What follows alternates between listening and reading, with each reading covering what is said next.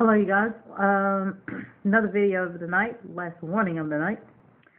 Um, I wanted to do this very short, quick video to um, get you guys to be in prayer. Some of you probably are still praying for colleges, schools of that nature. I've put out previous videos, but uh, there's a pressing in my spirit to reiterate um, to reiterate that. So please um, include colleges in your prayers. I know some of you have family, as I do, that are in school and college, and um, some of them are not college age. Some people are older than their early 20s going to college. So it, that doesn't matter. We just want to cover in the blood of Jesus cover your families, pray for the people. I just did a video warning um, UMass, uh, Boston of uh, Massachusetts. Uh, please keep them in your prayers.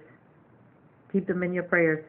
And other surrounding colleges, other colleges all over the U.S. Pray, pray, pray. Let's be not ignorant of Satan's devices. We know that Satan is roaming the earth like a roaring lion, seeking who he may devour. So uh, the kingdom suffereth violence, the violent. Be violent in the spirit and take it by force. Take the enemy plans and his agenda down. Okay? Uh, let's continue in prayer. I'm not only telling you this, I'm telling myself.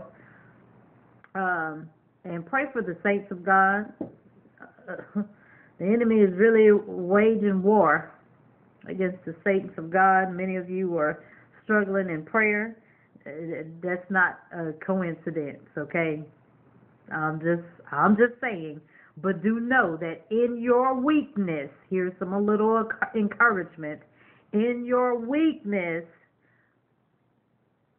he, the Lord our God, is made strong. He will make you strong, okay? Um, leaders, uh, those of you in ministry. He's the saving strength of the anointed. He's the saving strength of the anointed. He knows when we're weary, when we're being when we're tired, when we're persecuted. Look, don't feel condemned when you're having struggles and problems praying at night. Um, don't feel condemned.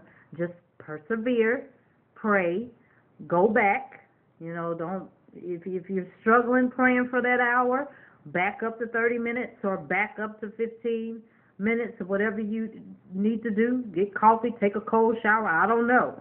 Whatever your uh, spiritual remedy is, um, pray against uh, against the attack, of course, and um, let's uh, stay in prayer. Um, period. Okay. Um, I love you guys. Very short video.